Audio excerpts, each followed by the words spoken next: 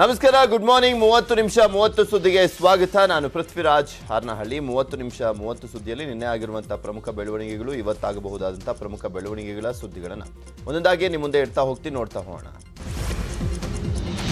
ನಿನ್ನೆ ರಾಜ್ಯಕ್ಕೆ ಕೇಂದ್ರ ಗೃಹ ಸಚಿವ ಅಮಿತ್ ಶಾ ಎಂಟ್ರಿ ಕೊಟ್ಟಿದ್ದಾರೆ. ರಾತ್ರಿ ಬೆಂಗಳೂರಿಗೆ ಆಗಮಿಸಿರುವಂತಹ ಅಮಿತ್ ಶಾ ಇಂದು ಕೊಮ್ಮಘಟ್ಟದಲ್ಲಿ ಗೃಹ ಇಲಾಖೆ, ಸಹಕಾರ ಇಲಾಖೆ ಸಮಾವೇಶದಲ್ಲಿ ಭಾಗಿಯಾಗ್ತಾ ಇದ್ದಾರೆ. ಅದಕ್ಕೂ ಮುನ್ನ ಮಾಜಿ ಸಿಎಂ ಯಡಿಯೂರಪ್ಪ ಮನೆಗೆ ಅಮಿತ್ ಶಾ ಭೇಟಿಯನ್ನು ನೀಡಲಿದ್ದಾರೆ. ಬಿಎಸ್ವೈ ಕಾವೇರಿ ನಿವಾಸದಲ್ಲಿ ಅಮಿತ್ ಶಾ ಉಪಹಾರವನ್ನು ಸೇವಿಸಲಿದ್ದಾರೆ. ಈ ವೇಳೆ ಅಮಿತ್ ಶಾ ಬಿಎಸ್ವೈ ಚುನಾವಣೆ ಕುರಿತು ಒನ್ ಟು ಒನ್ ಮಾತುಕತೆಯನ್ನು ನಡೆಸಲಿದ್ದಾರೆ. ಇನ್ನು ಇಂದು ಕೇಂದ್ರ ಗೃಹ ಸಚಿವ ಅಮಿತ್ ಶಾ ಮಾದಕ ವಸ್ತು ಕಳ್ಳ ಸಾಗಣೆ ಮತ್ತು ರಾಷ್ಟ್ರೀಯ ಭದ್ರತೆ ಕುರಿತು ಪ್ರಾದೇಶಿಕ ಸಮ್ಮೇಳನದ ಅಧ್ಯಕ್ಷತೆಯನ್ನು ವಹಿಸಲಿದ್ದಾರೆ. ಪ್ರಧಾನಿ ನರೇಂದ್ರ ಮೋದಿ ಅವರ ನೇತೃತ್ವದ ಭಾರತ ಸರ್ಕಾರ ಮಾದಕ ದ್ರವ್ಯ ಮುಕ್ತ ಭಾರತವನ್ನು ಮಾಡಲಿಕ್ಕೆ ಮುಂದಾಗಿದೆ. ಇನ್ನು ಮಾಜಿ ಸಚಿವ ರೋಷನ್ ಬೇಗ್ ಶೀಘ್ರದಲ್ಲೇ ಬಿಜೆಪಿಗೆ ಸೇರಲಿದ್ದಾರೆ. ಇತ್ತೀಚೆಗೆ ದೆಹಲಿಯಲ್ಲಿ ನಡೆದಂತ ಬಿಜೆಪಿ ಅಲ್ಪಸಂಖ್ಯಾತ ಮೋರ್ಚಾ ಸಮಾವೇಶದಲ್ಲಿ ಬೇಗ್ ಕೇಸರಿ ಶಾಲು ಹಾಕಿಕೊಂಡು ಕಾರ್ಯಕ್ರಮದಲ್ಲಿ ಭಾಗವಹಿಸಿದ್ರು. ರೋಷನ್ ಬೇಗ್ ಶಿವಾಜಿ ನಗರ ಟಿಕೆಟ್ ಆಕಾಂಕ್ಷಿಯಾಗಿದ್ದು ನನಗೆ ಟಿಕೆಟ್ ನೀಡದಿದ್ರೆ ನನ್ನ ಪುತ್ರ ರುಮಾನ್ ಬೇಗಿಗೆ ಟಿಕೆಟ್ ನೀಡುವಂತೆ ಬೇಡಿಕೆ ಇಟ್ಟಿದ್ದಾರೆ.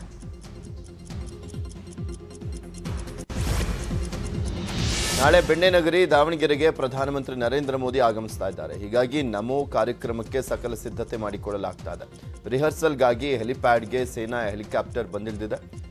ಜಿಎಂಐಟಿ ಕಾಲೇಜ್ ಪಕ್ಕ ನಾನೂರು ಎಕರೆ ಜಮೀನಿನಲ್ಲಿ ಬೃಹತ್ ವೇದಿಕೆ ಸಿದ್ಧವಾಗಿದೆ.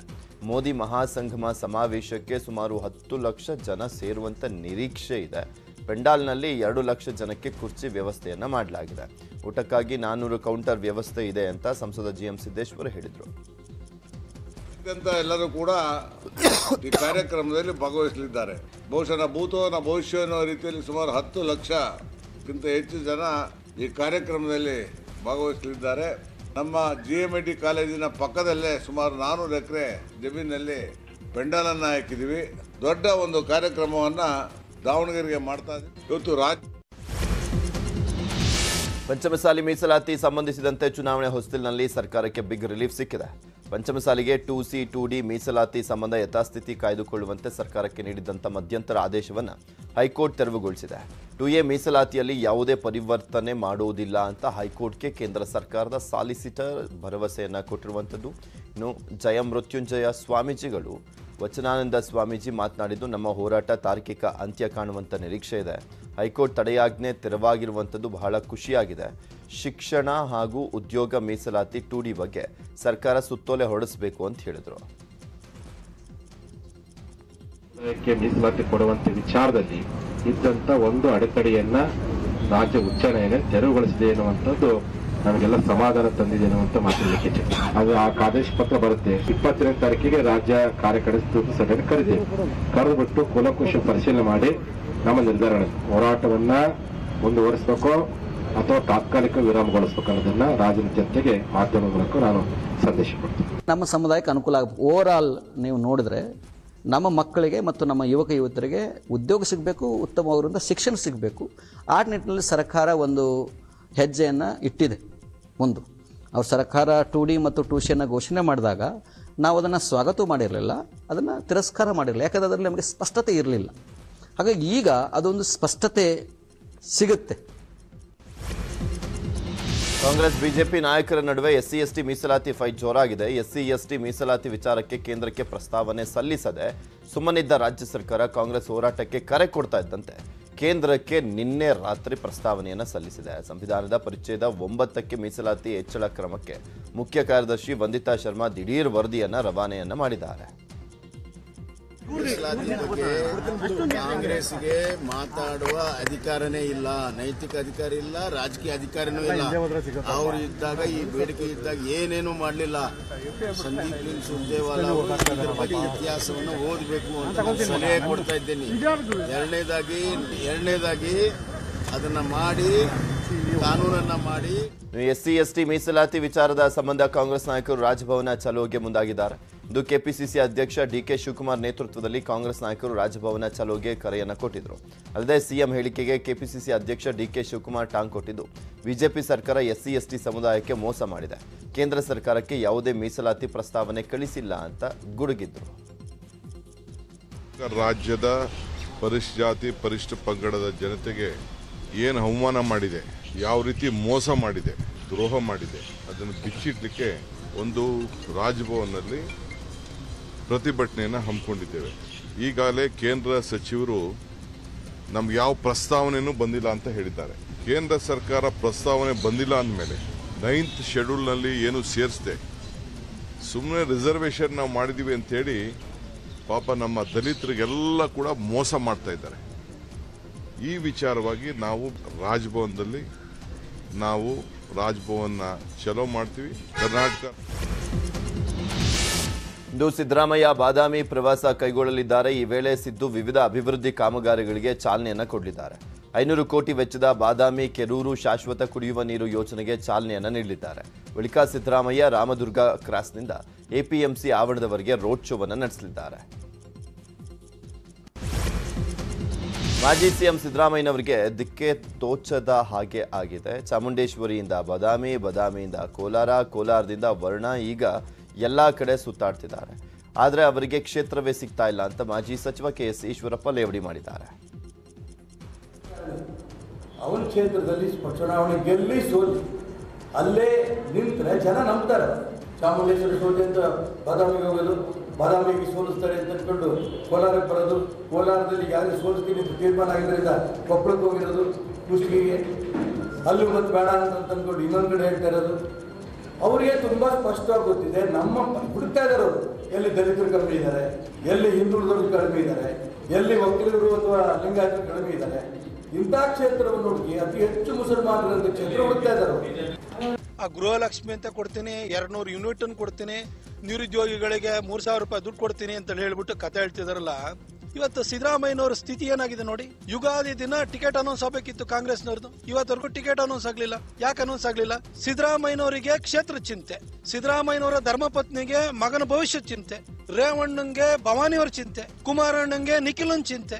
ಹೀಗೆ ಕುಟುಂಬ ಚಿಂತೆ ಮಾಡ್ತಿರೋದ್ರಿಂದ ನೀವು ರಾಜ್ಯದ ಜನರ ಹಿತರಕ್ಷಣೆನೋ, ರಾಜ್ಯ ಜನರದ ಭವಿಷ್ಯದ ಚಿಂತನೆ ಇವ್ರು ಮಾಡ್ತಾರೆ ಅಂತ ಯಾಕೆ ಅನ್ಕೊಳ್ತಿದ್ರಿ ಯಾದಗಿರಿಯಲ್ಲಿ ಜೆಡಿಎಸ್ ಪಂಚರತ್ನ ಯಾತ್ರೆ ನಡೆಯಿತು ಈ ವೇಳೆ ಮಾಜಿ ಸಿಎಂ ಎಚ್ ಡಿ ಕುಮಾರಸ್ವಾಮಿಯನ್ನ ನೋಡಲಿಕ್ಕೆ ಜೆಡಿಎಸ್ ಕಾರ್ಯಕರ್ತರು ಬಂದಿದ್ರು. ಮಾಜಿ ಸಿಎಂ ಎಚ್ ಡಿ ಕುಮಾರಸ್ವಾಮಿ ಅವರಿಗೆ ಚಕ್ಕಡಿ ಹಾರವನ್ನ ಸೇರಿದಂತೆ ವಿವಿಧ ಬಗೆಯ ಬೃಹತ್ ಹಾರಗಳನ್ನ ಹಾಕಲಾಯಿತು.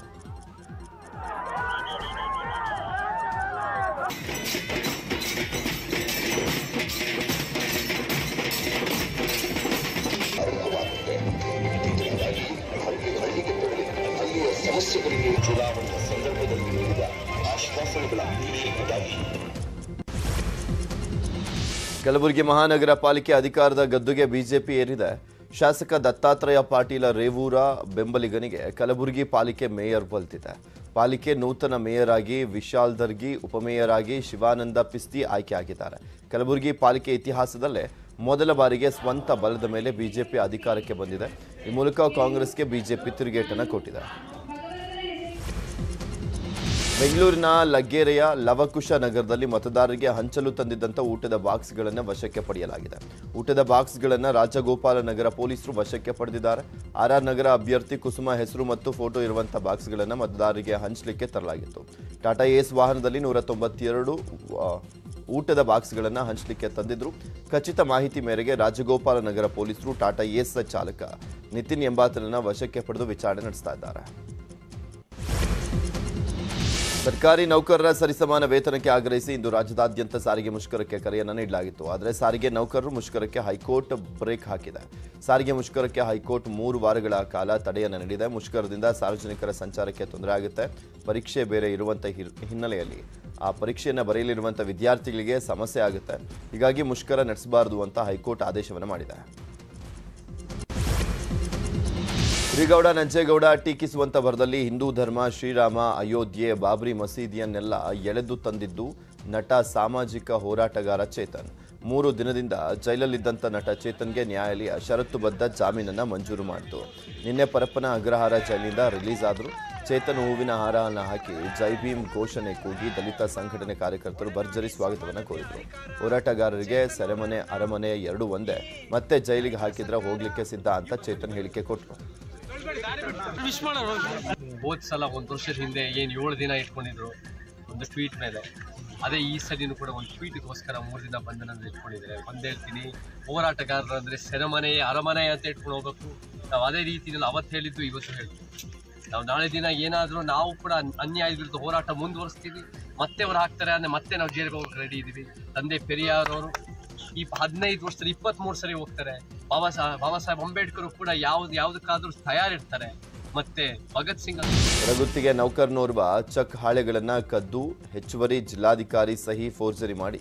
ಮೂವತ್ತೆರಡು ಲಕ್ಷ ರೂಪಾಯಿ ನುಂಗಿದ್ದಾನೆ ಈ ಘಟನೆ ಚಾಮರಾಜನಗರದಲ್ಲಿ ನಡೆದಿದೆ. ಜಿಲ್ಲಾಧಿಕಾರಿ ಕಚೇರಿ ಹೊರಗುತ್ತಿಗೆಯ ಡಿ ಗ್ರೂಪ್ ನೌಕರ ರಾಜೇಶ್ ಎಂಬಾತನ ಕೃತ್ಯ ಎಸಗಿರುವಂಥದ್ದು. ಈತ ಜಿಲ್ಲಾಡಳಿತ ಭವನ ನಿರ್ವಹಣಾ ಅನುದಾನದ ಖಾತೆಯಿಂದ ಅಕ್ರಮವಾಗಿ ಹಣವನ್ನು ಡ್ರಾ ಮಾಡಿದ್ದಾನೆ ಕರ್ತವ್ಯ ಲೋಪ ಆರೋಪದಡಿ ಚಾಮರಾಜನಗರ ಪಟ್ಟಣ ಪೊಲೀಸ್ ಠಾಣೆಯಲ್ಲಿ ಎಫ್ಐಆರ್ ದಾಖಲಾಗಿದೆ. ದ್ವಿತೀಯ ದರ್ಜೆ ಸಹಾಯಕಿ ಜಿ ಸೌಮ್ಯ ಅಮಾನತುಗೊಳಿಸಿ ಜಿಲ್ಲಾಧಿಕಾರಿ ರಮೇಶ್ ಆದೇಶವನ್ನು ನೀಡಿದ್ದು, ಮುಖ್ಯ ಆರೋಪಿ ಹೊರಗುತ್ತಿಗೆ ನೌಕರ ಮಾದೇಶ ಪರಾರಿಯಾಗಿದ್ದಾರೆ. ಗದಗ ಪೊಲೀಸರ ಭರ್ಜರಿ ಕಾರ್ಯಾಚರಣೆ ನಡೆಸಿ ಮನೆಗಳು ಹಾಗೂ ಜೈನ್ ಮಂದಿರ ಕಳ್ಳತನ ಮಾಡಿದಂತಹ ಆರೋಪಿಗಳನ್ನು ಅರೆಸ್ಟ್ ಮಾಡಲಾಗಿದೆ.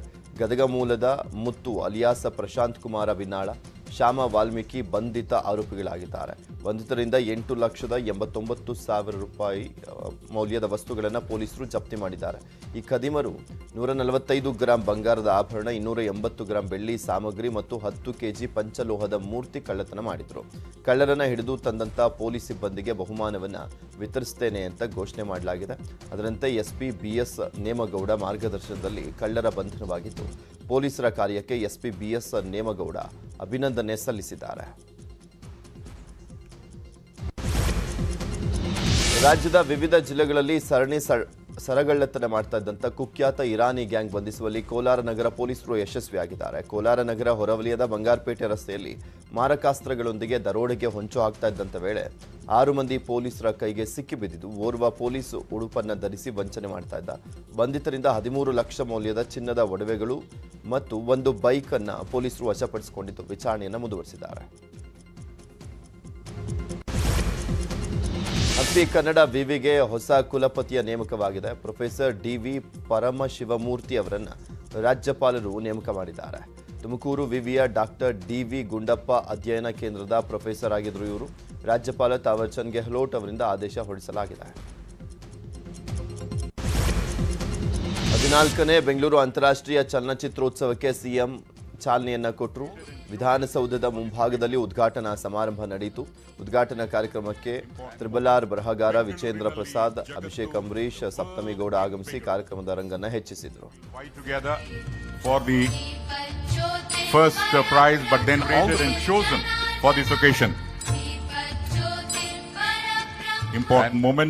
ಬೆಂಗಳೂರಿನಲ್ಲಿ ಜಗತ್ತು ದ ವರ್ಲ್ಡ್ ಇನ್ ಬೆಂಗಳೂರು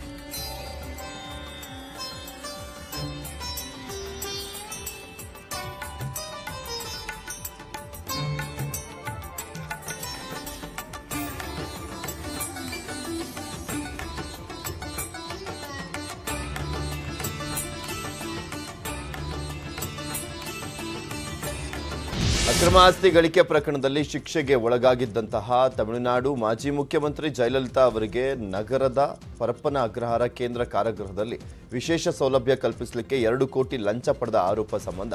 ತಮ್ಮ ವಿರುದ್ಧ ಭ್ರಷ್ಟಾಚಾರ ನಿಗ್ರಹ ದಳ ದಾಖಲಿಸಿದ್ದಂಥ ಎಫ್ಐಆರ್ ರದ್ದು ಕೋರಿ ನಿವೃತ್ತ ಡಿಜಿಪಿ ಸತ್ಯನಾರಾಯಣ ರಾವ್ ಸಲ್ಲಿಸಿದ್ದಂಥ ಅರ್ಜಿಯನ್ನು ಹೈಕೋರ್ಟ್ ಇತ್ಯರ್ಥಪಡಿಸಿದೆ.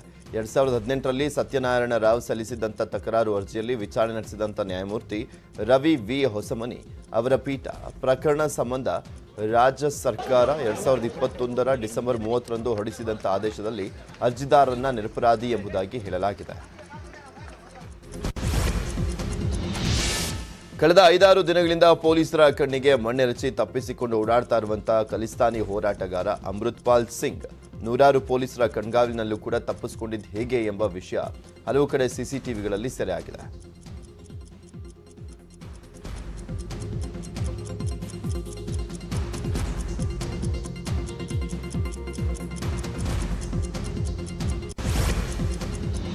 ವಿಶಾಖಪಟ್ಟಣದ ರಾಮಜೋಗಿಪೇಟದಲ್ಲಿ ಮೂರು ಅಂತಸ್ತಿನ ಕಟ್ಟಡವೊಂದು ಕುಸಿದು ಬಿದ್ದಿದೆ. ಘಟನೆಯಲ್ಲಿ ಮೂವರು ಮೃತಪಟ್ಟಿದ್ದು ಮೂವರು ಗಾಯಗೊಂಡಿದ್ದಾರೆ.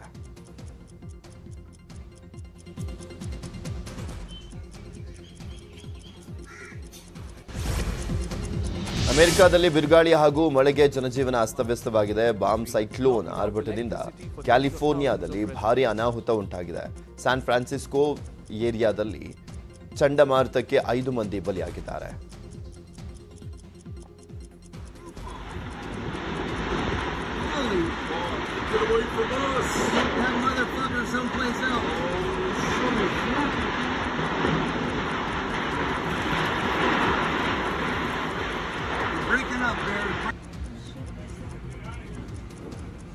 Huh?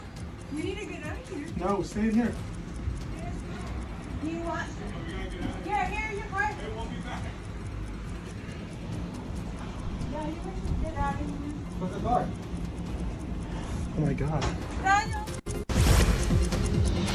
ಮೇಣದ ಬತ್ತಿ ತಯಾರಿಕಾ ಘಟಕ ಹೊತ್ತಿ ಉರಿದಂತ ಘಟನೆ ಕಾರ್ಕಳದ ಪರ್ಪಲೆ ಗುಡ್ಡೆ ಎಂಬಲ್ಲಿ ನಡೆದಿದೆ. ಬೆಂಕಿಯ ಕೆನ್ನಾಲಿಗೆಗೆ ಮೇಣದ ಬತ್ತಿ ದಾಸ್ತಾನು ಭಸ್ಮವಾಗಿದೆ. ಅಗ್ನಿಶಾಮಕ ದಳದ ಸಿಬ್ಬಂದಿ ಒಂದು ಗಂಟೆಗಳ ಕಾಲ ಹರಸಾಹಸ ಪಟ್ಟು ಬೆಂಕಿಯನ್ನು ನಂದಿಸಿದ್ದಾರೆ.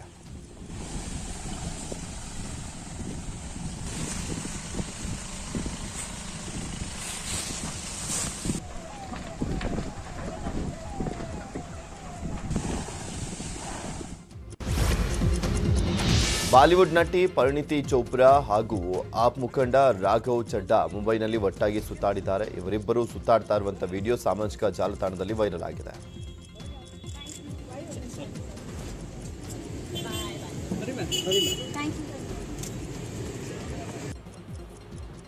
ಮ್ಯಾಮ್.